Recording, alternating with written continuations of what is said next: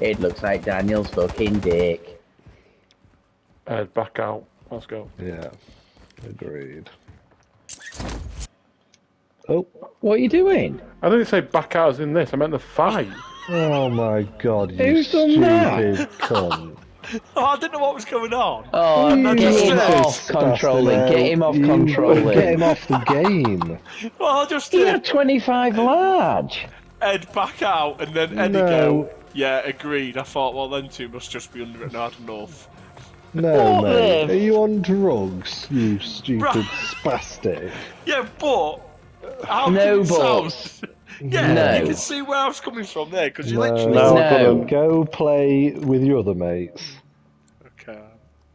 I've invited everyone but Ed. Correct.